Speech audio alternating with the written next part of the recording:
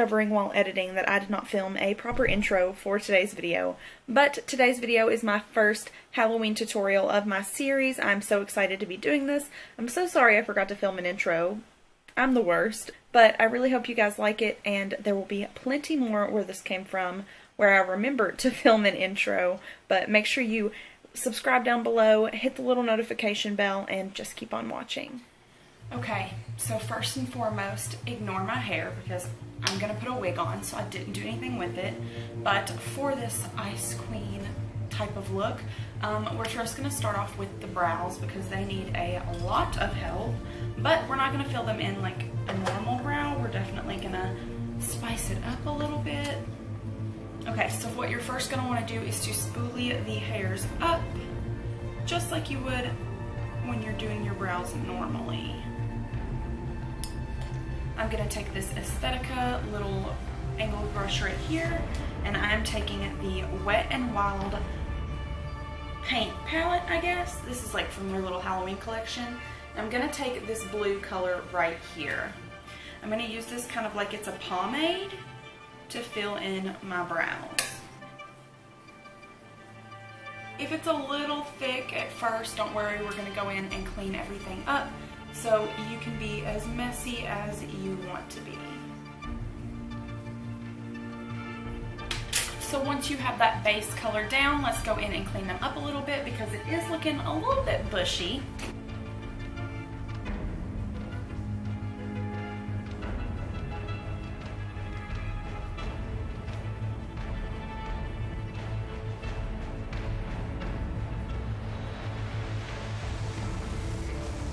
Oh, by the way, I'm not naked. I have a shirt on. Just want to put that disclaimer out there. so now that that brow is done, I want to lighten it up a little bit. So I'm going to take the Wet n Wild paint pot. This is in white.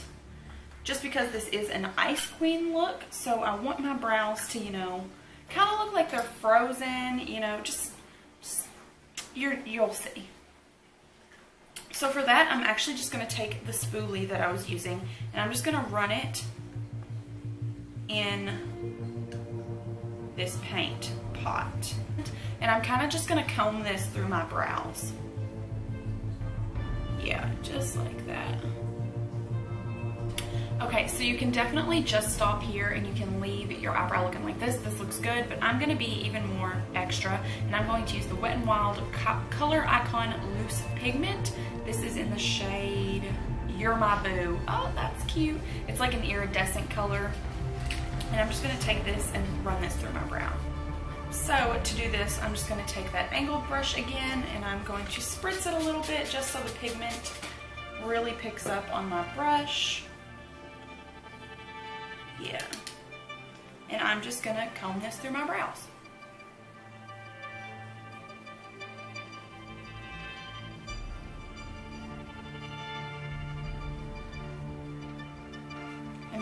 Going to get all of this out of my brows? Probably not, but you know what?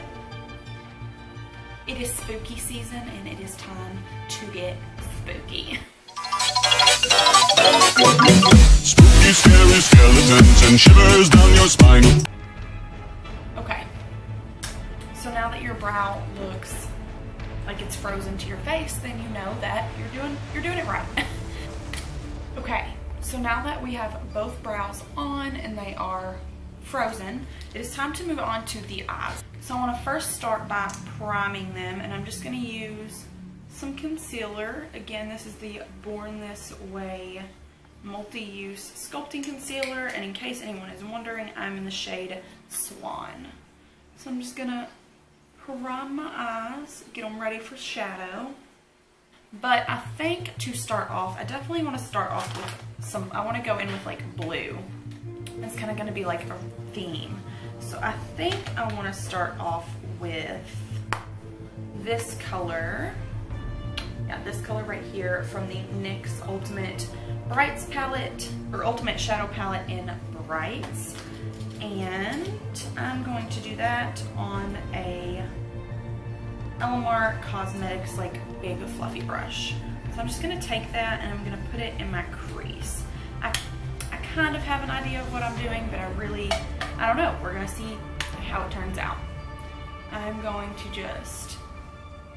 Also take note that I did not set my eyeshadow or my eyelid primer. I'm going in with it wet, so that is going to take a little bit more like patience and blending, but honestly it all works out better in the end. The pigment shows up better and it's just, it, it's my go-to method. So I'm just gonna build this color up in my crease and I think I'm actually gonna like wing it out a little bit because I'm really thinking I wanna do some type of like cut crease. So I think I'm gonna go in with a little bit of a darker blue and to do that I'm gonna use the Morphe M506. It's just like a little tiny blender brush. And I think I'm going to stay with this NYX palette and I'm gonna go in with I think I'm gonna mix these two blues.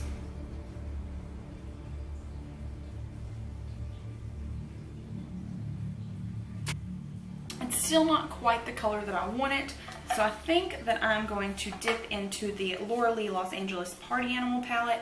And I think I'm going to dip into this color right here. It is Karaoke, and that is more of like a royal blue, I guess. I just want it to deepen up and like make it more of like a I don't know how to explain it. You'll, you'll see.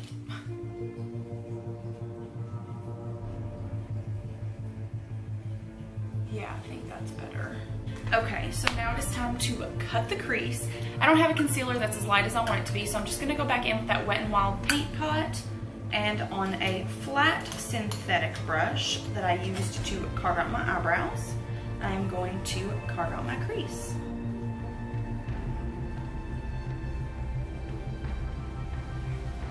As you can see, it's obviously not perfect, but that's okay because we are not leaving it like this. But before we, I guess, fix it up a little bit, I'm going to go back in to that pigment that we used earlier and we're just gonna set that like white shade. So, to make it a little bit more extra, a little bit more glam, I bought these cute little gemstones. These were like 95 cents Walmart. Nothing special, but I do want to use these in my crease. I'm gonna start right at the inner corner.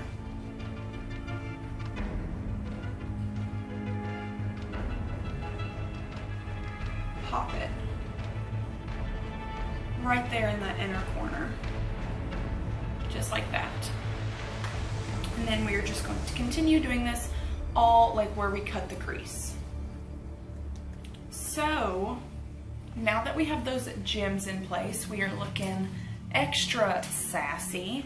I am gonna go in with some lashes. Now, so first things first is we need to lighten our own lashes. You know, our lashes are pretty dark. We don't need those peeping through.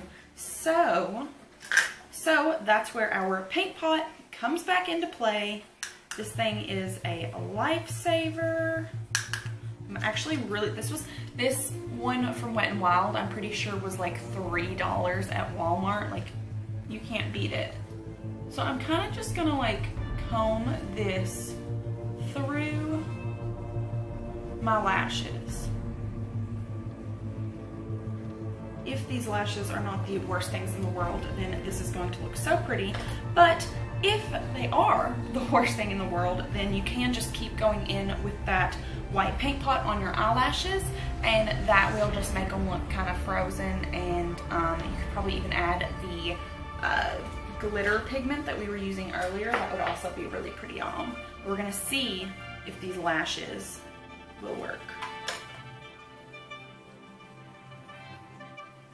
These actually aren't the worst things in the world. Obviously, I have paint all over my face right now, but these kind of look really good with this look. Like, okay, so I have both eyes done. I'm looking a little crazy right now, but it is going to look good in the end. So the next thing I want to do is my face. So to start off, I'm going to prime it like normal because I want smooth skin. I'm just taking my Smashbox Photo Finish, putting that all over the face. Okay, so once the skin is primed, I need to go in with a foundation. So I am pale, but none of my foundations are gonna give me the color that I want. So I'm going to take the palest foundation that I have, which is the Fenty Beauty and this is in 120. And then I'm also going to take my Wet n Wild paint pot and I'm going to kind of mix it together so I can get the shade that, get to the shade that I want to be at.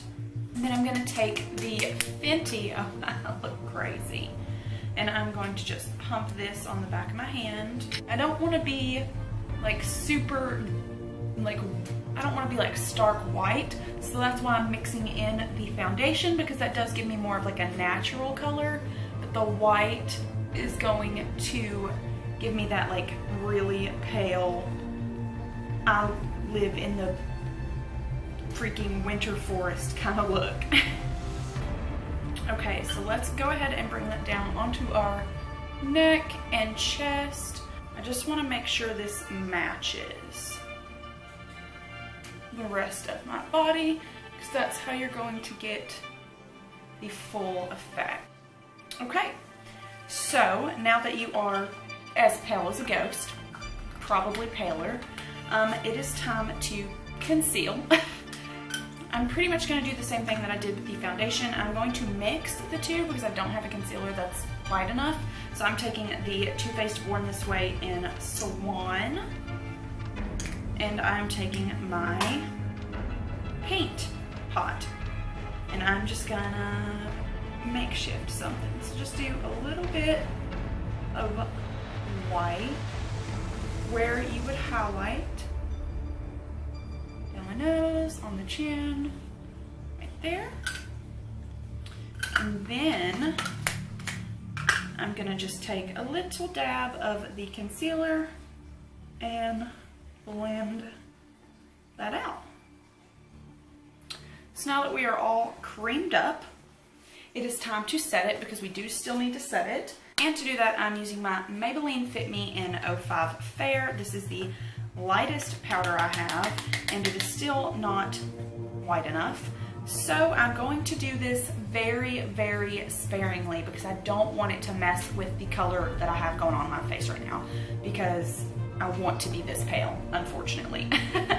so I'm just gonna take a big fluffy brush and I'm just kinda gonna sweep it around, just trying to set it so that I don't have a bunch of creams going everywhere. Honestly, with the Fenty foundation, you probably don't have to set it because it is so matte, but I'm gonna set it so I don't get any like smudges and stuff doesn't like slip and slide around on my face. So, I'm just gonna ever so lightly brush this around my face. And this is good because this powder does not have flashback, so you can use it all over your face and not have to worry about um, taking pictures on Halloween and getting flashback. So now that we are looking one-dimensional, I am going to contour. So, to start off, I definitely want to use, hmm, I think I'm gonna be safe and start off with using like these two lighter colors right here. And I'm just gonna take this on a small little brush. This is the Morphe M530. And I'm just gonna dip into these colors, mixing them together. And I'm gonna kind of use this as contour shade.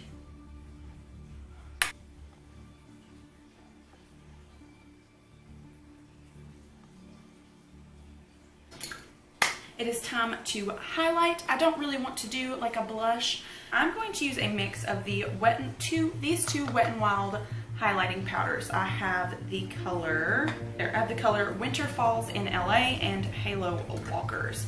Halo Walkers is more of like a blue. Okay, so we're going to start with this one. It is like a blue iridescent. So, Wet n Wild highlighters are honestly best drugstore highlighters. They're so affordable. All right, let's just pop that on my cheekbones. Yeah, I am digging this. Right above my brow. So now that we are highlighted to filth, I am looking a little crazy. Where's my beauty blender? Oh, there it is. I'm looking a little tiny bit crazy.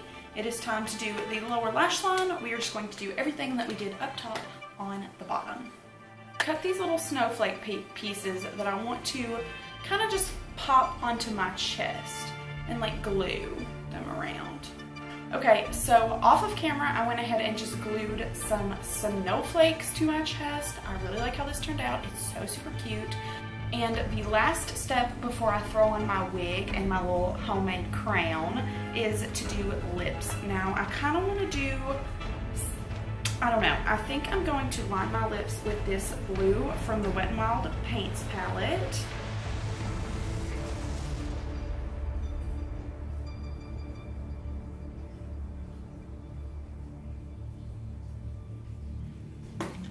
So once I have them like a little bit filled in, I'm then gonna go in with the Wet n Wild Mega Blast Iridescent Lip Color. It's just in this like iridescent blue color. It's so pretty. I'm gonna fill in my lips.